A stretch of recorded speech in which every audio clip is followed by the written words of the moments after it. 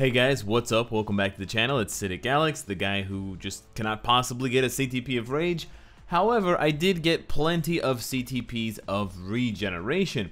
And so with that being said, I decided why not take the dive now while we have the time, while we have, of course, the resources, and see just how good this faded CTP of regeneration is. It's got the guard break immunity, it's got the recovery it's got the maximum HP, and it's got the HP shield that cannot be um, canceled, reflected, pierced, or I mean it can be reflected, but it can't be canceled, pierced, or any negated of any in, in any way. It can't be stripped or anything. So how how good is this CTP in PvP? And of course, I also want to answer can Deadpool still kick it with the big boys in PvE? Because that is the that is almost the bigger question. I had to strip his almost perfect CTP of destruct uh, energy away to put on this CTP of regeneration. I obviously was not going to uh, delete it, and so I, I want to know what how much am I losing versus how much am I gaining. Uh, as far as the rest of his build goes, I have most things maxed out. I mean, of course, the crit rate and the crit damage are not going to be maxed out. And I'm not going to change his Urus, but that is what I would do if I were going full PvP. I would swap these crit rate Urus for more HP. Uh, the recovery rate is pretty close to the cap at 233 because his fourth gear is rolled recovery rate and I also have his uh, uniform at legendary with a recovery rate and HP roll here with a couple other stats here, almost entirely defensive. So we're going to take a look first at his uh, abilities in PvP, and then we're going to go and check out if he can still do PvE, i.e. World Boss Ultimate gameplay. Uh, we're going ahead with this team here. This is kind of the maximum recovery rate and HP. We got 10% here with the debuff. We've got 30% from Victorious because of her 4-star passive Latverian Champion. So that is why Deadpool is rocking over 75,000 HP, which is absolutely bonkers.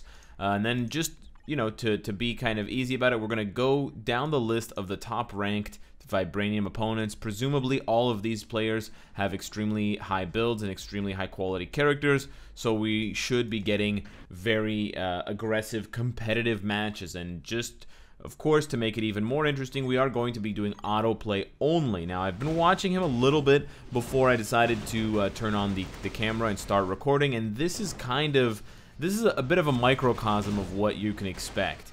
Uh, he can still get one-shotted, which honestly blows me away. Now, of course, you could have a better PvP uh, built uh, Deadpool, you could have, of course, 40% max HP on your cards, whereas I only have 10% or 9%. But fuck off. Get real. Uh, that shit's not gonna happen, first of all. Second of all, yeah, of course, if you have a perfect character and, and your account is perfect, then then you could do better, of course. But that's not the point. The point is, I'm already approaching, you know, the top five or the top one percent of all Deadpool's with a CTP of regeneration, with this entire build. You know, almost perfect recovery rate, crazy amounts of HP, a, a team with Wasp and, and Victorious that is perfectly designed around Deadpool. I don't even, I'm not even bringing other strong characters. I'm literally bringing everyone just to give Deadpool more juice. Um, and he's it's not even he's not even that good. Like yeah, he just killed the other Deadpool who had almost as much HP. So I'm assuming this guy has very good HP on his cards, and, and sure, an, an extra 20 or 30% would be nice. But how the hell does Deadpool still die? Um, I don't know if this is just something that I haven't really been paying too much attention to. There, we won one. Uh, but I guess the, the days of one character dominating PvP are kind of over, and it's it's almost impossible to get a, a sweep i.e., an ace win with a single character, um, even if they're fully PvP built. And it's, kind of a shocker. Uh, perhaps the, the meta is just not very favorable to Deadpool. Perhaps Wolverine with the CTP of regeneration would be better. Um, perhaps slightly augmenting my type enhancement would help a little bit, but I don't think it will because that has to do with speed types versus blast types. And, and the majority of the problems that I'm seeing is against Universals like Doctor Doom and, and Captain Marvel, um, but he also even dies to himself, to which I can do nothing about that, which honestly blows my mind uh, that he actually dies to himself. So perhaps the CTP of regeneration, again, perhaps. This is, of course, not my final verdict, or this is not kind of uh, the word of law, but my early impression of the of this build right now is that it's not very good, and perhaps the CTP of regeneration is not as good as we thought. I mean, It's kind of sad because it was introduced at the same time as the CTP of Rage, and you know you have to get Type 6 enhancement for Captain Marvel just to to get it. And of course, I mean, yeah, I'm, I'm playing manual, I'm playing on auto, and I'm letting Deadpool basically get one-shotted by Doctor Doom's uh, fifth skill, which is is awful. Uh, and if I was e if I was playing on manual, I would just easily walk away from it and take no damage. I, I know this is not um, the most logical way of playing, but man, Doctor Doom doesn't have a uniform. He's not even tier 3, and I'm getting one-shotted by one... Well, I'm not getting one-shotted, but I'm getting killed by a single attack. I'm not even getting killed by a combo of attacks. It's not his third skill that has all defense down. Uh, you know, it's it's it's kind of um, it's kind of painful to watch. So I don't know if people have had better luck with uh, with regeneration. Perhaps it's only useful for Alliance tournament, which is honestly even this even sadder because at best you get to use that a few times per week. I mean, I don't even really want to use CTPs of regeneration that much for for timeline, and I get to play timeline 70 times per week. Uh, now playing it just a couple of times per week, as long as I continue to make Alliance tournament, it seems like such a seems like such a damn waste. Um, and so, you know, I there's really nothing they can do to fix this other than just improving existing game modes uh, for PvP and, and, giving more options and more opportunities to use characters. If there was some sort of game mode that was like Shadowland, that was a nice victory. If there was a game mode that was like Shadowland, uh, except it was PvP against other players and it gave you similar rewards to Shadowland, stage 1 to 30, and if it had the same sort of uh, intensity and, and enjoyment as Shadowland, then that would be a good reason to sell CTPs of regeneration and to have them. But uh, the more that I watch this right now, I kind of feel like I got ripped off. Not only did I not get CTPs of Rage, uh, but holy shit, these the, the, the, ones that I did get that I thought were good kind of suck ass. It's just like, what the fuck is the point of this shit? Like, it's completely fucking useless. He dies anyways.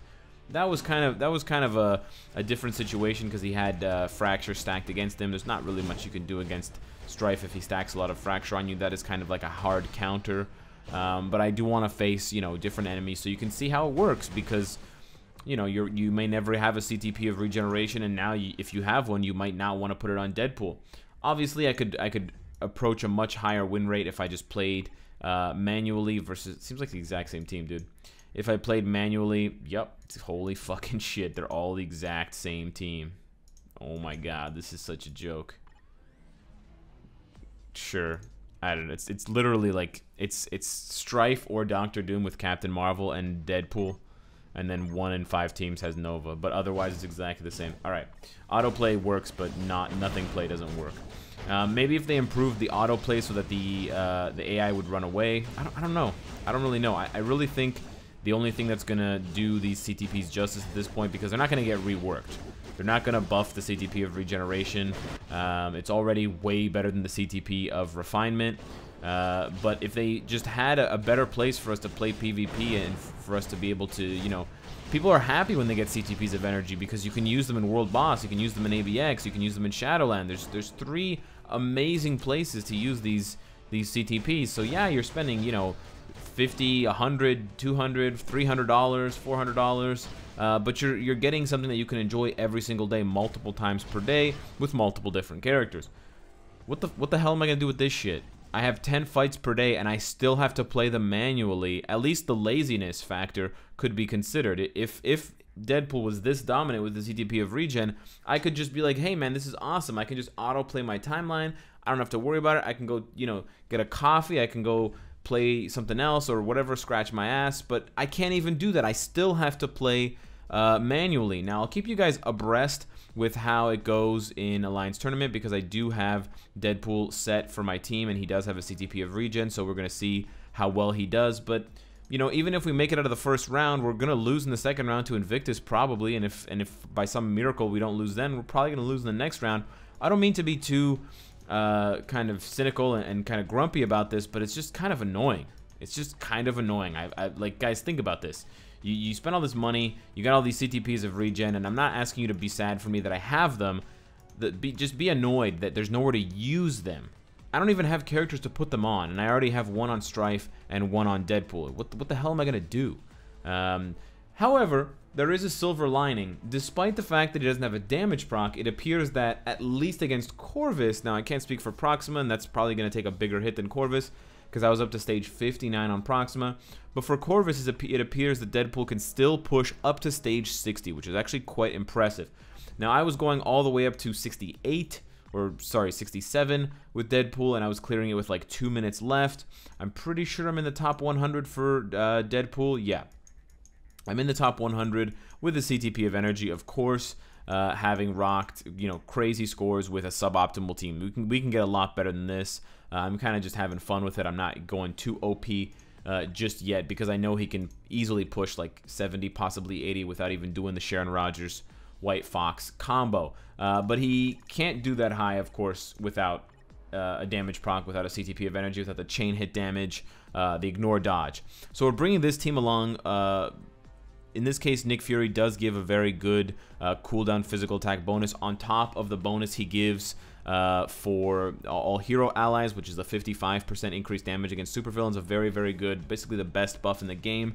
I actually think the 35, 35, 10% is um, probably about as good because I don't have, I don't think I have capped attack speed. But we could actually use, we could actually do this one and get even more. But we'll actually do it like this, and then you can judge how well he does, and then you could imagine how much better it would be with a bit more all attack. It's only an extra 15%. It's not a crazy amount.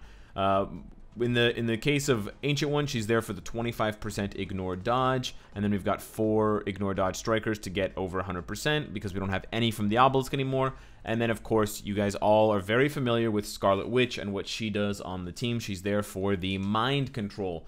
Um, now it's it's a pretty leisurely. I mean, it's it's fun to play as Deadpool regardless. So that that part of it, I'm not too upset. Uh, it's nice to see the bars completely completely melt when you use uh, a CTP of, of energy and you hit that damage proc. You don't see that that melting anymore. You don't really see the um, the rewards of your, your all defense down stacking as much. You see a, a bit of a bump now and then when you line up the uh, the, the three with the, the six, and then you hit the five and the four. Uh, but a couple of things to note that I would that I would take into consideration to play a little bit differently is for one, I would if you if you're not using a damage proc on Deadpool, definitely still uh, after six, you should definitely do uh, one and then three, assuming you have the new uniform. But then just do four and let 4 play out all the way to the end because the damage on 4 is really good with the all defense down and it actually provides a 1.7 second uh, paralyze and the paralyze is actually really good for keeping um, Corvus from, from hitting you and doing kind of dumb stuff. So I actually do let the 4 play out the majority of the time uh, and the damage is usually worthwhile for me. Um, but otherwise, it's it's a pretty uh, kind of smooth fight. He kind of just dies slowly. And it, this is going to take probably close to five minutes. So whereas I was clearing uh, 67 with, um, oh, come on.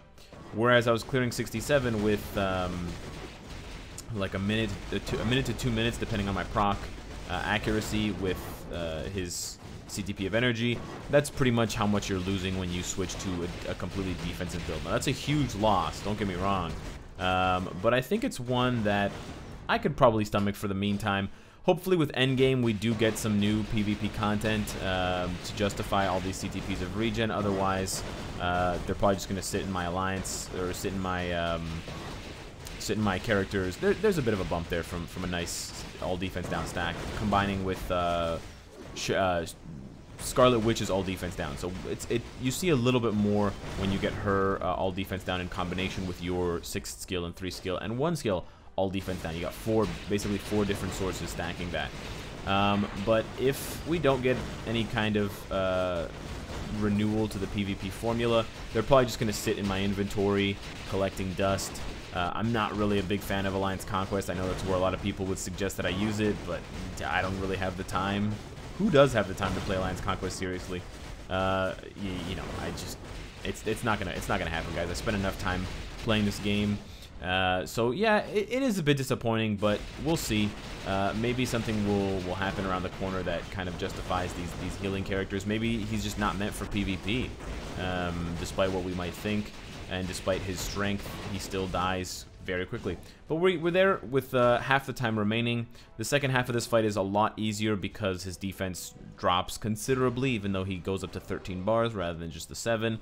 Uh, so this does become a little bit uh, faster, and I think we can take off like up to one bar uh, when we actually hit everything at the same time, which is nice. So we just need to stack that. We've been kind of, we haven't been that aggressive with stacking the proc. We haven't been canceling 4 that often. Usually you cancel 4 into 5 uh, to get that, that, that proc built up faster. I don't know why he's all the way over there. Oh, and then he canceled my 5th skill. That's so fucking annoying, Jesus.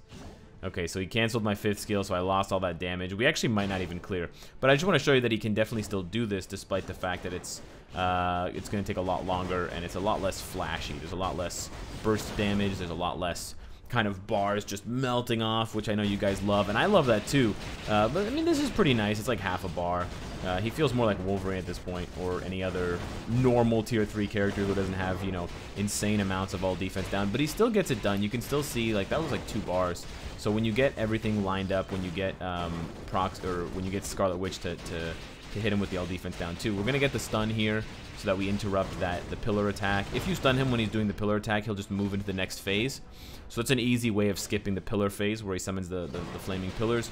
Just hit him with any kind of stun uh, that affects world bosses, any kind of mind control, uh, and you will get uh, that time back, basically, and then you can skip that entire phase. Otherwise, you have to sit there dodging, and it's kind of annoying. It wastes a lot of time. So we kind of gain back, we gain back the time we lost in a way. We're getting a lot of stuns here, but we're not building up the, uh, the tier 3 skill too much. We have a minute left. I think we can do it. Um, we just got to see if we get some mind... Oh, we did get mind control. Okay, I think this is going to hurt him a lot. Mm, yep, yep, yep. We've got another mind control there as well. Very nice. Oh, we got another one. Wow. Uh, yeah, you can see we're, we're quite close, actually. Can we do it? 39 seconds, 4 bars, Deadpool struggling on stage 50 of Corvus. call him Lagus at this point. Also, the also you stay in the fourth skill because of the eye, because because it's an iframe. So we got it. 26 seconds left. Stage 60, pretty impressive. So you could probably do like a 61 with um, Nick Fury's leadership. Not bad at all. I actually wanted to play Proxima for the uh, the combat ch book chance, but we didn't get that. So he's still capable in PvE. It's just it's more of a lawn mowing affair where you're just kind of going back and forth, cutting that grass. I'm not too impressed with his PvP potential, but ultimately, it's up to you guys. What do you think? Should I test it in, in, in more situations? Is it just a bad week for PvP with a lot of kind of one-shot mechanics with characters like Doctor Doom and Captain Marvel? Do we need to change that in general? I don't really know. I don't really have an answer for you guys this time around. I'm sort of 50-50 on whether this is even worth uh, rolling for as opposed to CTP of, of refinement at all or even those other obelisks that everyone was trying to get, you know, guard break immunity, recovery rate, four seconds, whatever, this kind of thing. Wait, which which one is it? I got another one here. I rolled it today. There it is, three seconds. I'm gonna end up re-rolling it. Anyways, let me know what you guys think. Hit the likes on the other video if you can. And of course, if you like what you see, I hope to see you again tomorrow. Take care.